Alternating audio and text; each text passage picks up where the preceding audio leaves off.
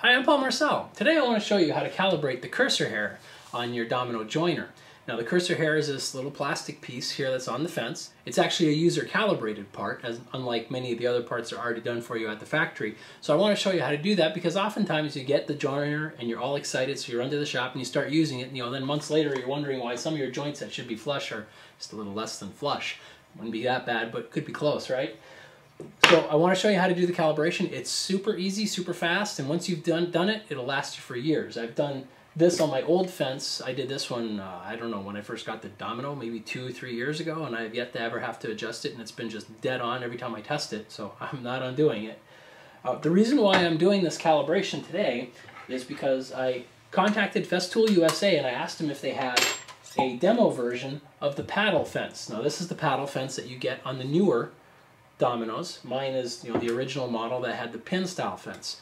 Now the reason I wanted this is I'm not becoming a convert from pin style. I still love that for a lot of reasons, especially those narrow stock spacers you see me use. Although with the SCG10 there's a lot less need for those stock spacers so I wanted to have a fence that I can show you operations both on the newer model and on the older model in case there's a difference. So thanks Festool USA for the fence. So the procedure is pretty fast so let's just get right to it.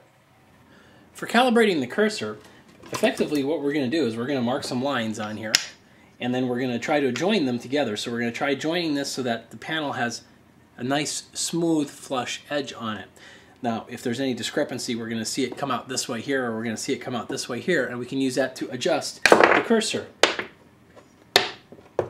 Now it turns out that the bottom of the base has a line right here that shows you where the middle of the mortise is. Now this is calibrated at the factory, so that line is dead on. If it's not dead on, then there's something wrong with the calibration, but I honestly don't think you're going to find that to be the case. Uh, typically what happens is that that line is calibrated to the center of the mortise, and then the cursor is left up to you. This one right here. So what we're going to need is we're going to need, it's a very simple process, but you are going to need a Torx T10 uh, so if you don't have one of those, pause the recording, jump in your car, go down to the big box store and pick one up. You're not going to want to muscle that with anything but the T10. So since we know that this bottom line is calibrated, what we can do is we can use this line to set the initial placement of the cursor, and then we can kind of fine tune it. Now the fine tuning isn't correcting any error on this line, what it is is correcting you know our positioning of that cursor initially, but usually get it pretty close on the get-go. So this is a bit of a trick like what I did on the SCG10 video, and that is just to use a little bit of blue tape to initially set up the configuration. So we're going to take some blue tape. I'm going to put some on both sides of this block, down the middle. So I'm just going to eyeball it, put it somewhere in the middle because we're going to be cutting it away anyway. All this is for is for transferring a position from the bottom of the domino up to where the cursor is. So I've set the cursor, the thickness here, let me set it to 20 millimeters. This is actually 19, but 20 will be just fine for the thickness. So I'll set it to 20.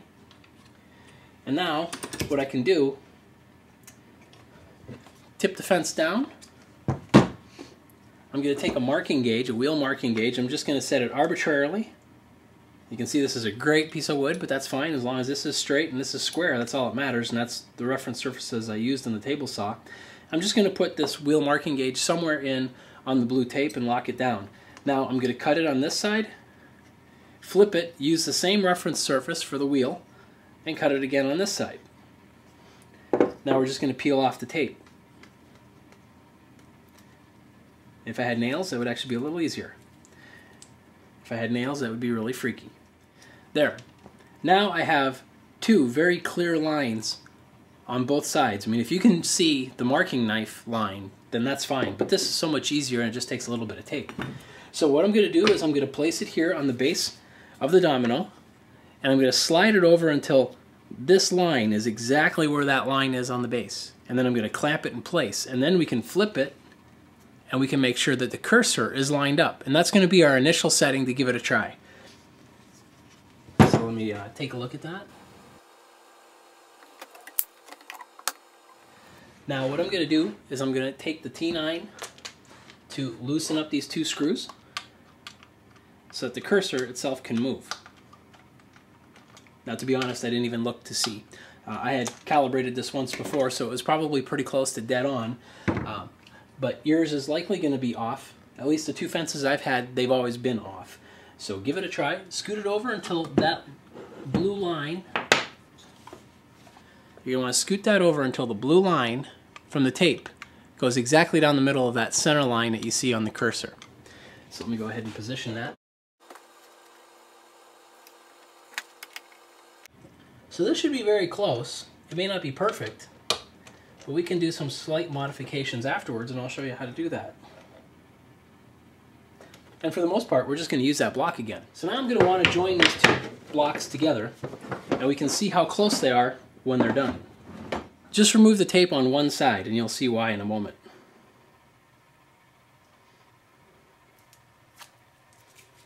Although if you're not so short of scrap, you probably don't have to do that.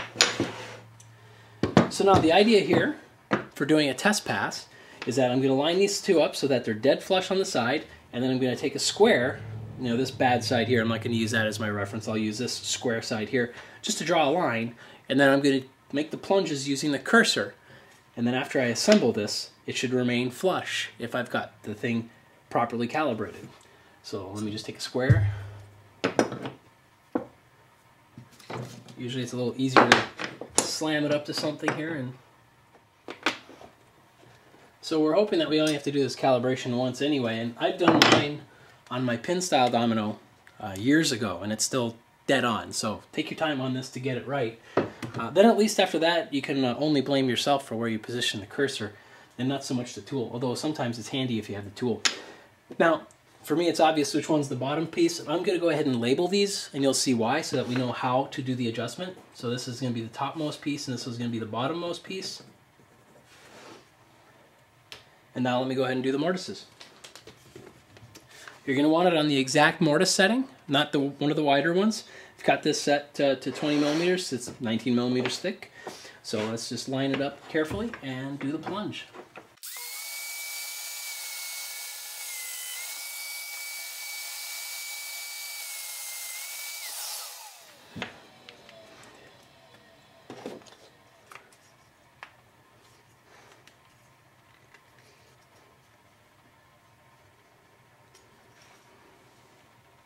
I don't know if I could get that any better. I can ever so slightly feel an edge there. My goal is to be able to get these so that they're flush enough that I can simply take a sanding block with 180 on it and be able to finesse that and smooth it out. That's what I care about. You're never going to get this so perfect that there's no touch up if you want it to be completely smooth to the touch. Right now, that is. So that was the extent that we had to do for doing this adjustment.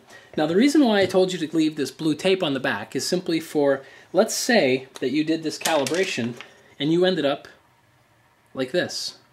Exaggerating, obviously. What you need to do is this one that's labeled the top.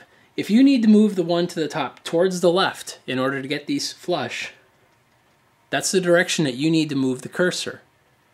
And if, of course, if this was the other way and you needed to move it towards the right, then that's the direction you need to move the cursor. So that's the easiest way to remember which direction you need to move it.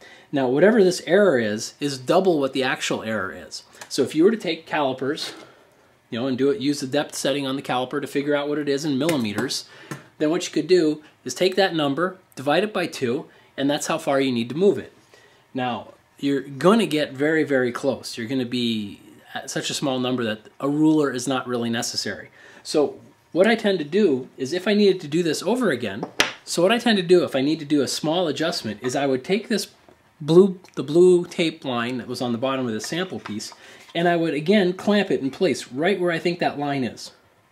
And then clamp it. Now loosen up the cursor and adjust it with whichever direction you need to go by about half of what you think the error is. Now a lot of times because this line here is thicker than of course the knife line that's here, sometimes what I'll do is I'll put the knife line on one side or the other of the cursor line and then scoot it over until the cursor, until the knife line is on the opposite side. So that makes for a very small, repeatable measure. Then you can just try it again and see how close you get. But I think you're going to find that on the first pass, if you take your time when you're doing this knife line transfer, that you're going to get very, very close. And this one here is pretty much dead on. Uh, I'm not going to do any more adjustments to it or I'll probably mess it up. So there you go. go and adjust your uh, domino and you'll find that it's a lot easier to use. Now this is a paddle model. There are some adjustments that you can make to the paddle model for these two paddles in order to get them equidistant to the center. Now there are offset paddles that come with the, the full set and there would be a, a left and a right and what it is is that this inside edge would be further out by 6 thou. Uh, the reason for that is that you would swap out whichever paddle you needed to do to get it closer and the reason it's 6 thou is if you found that you were only 2 thou off, you'd probably just lump it. If you were 4 thou off, then you could put the 6 thou adjustment in and be off by 2 thou again. And then, of course, if you're 6, you're dead on. If you're 8, you're off by 2. So the 6 works out as a really nice number to get you within 2 thou of the dead center. Now, again, I don't have the paddles to be able to show you, but you can take a look at Rick Christopherson's manual and he explains how to swap out these uh, paddles individually. And it's basically just a set screw on the side and then being a little careful of that spring. Now for the pin model fence, it's a little different. There's a set screw that's on the side. There's one pin here. You can see that there's what looks like a slot there for a slotted screwdriver. So it's the it's the one when you're facing it, it's the rightmost one. And there's a small set screw on the side in here.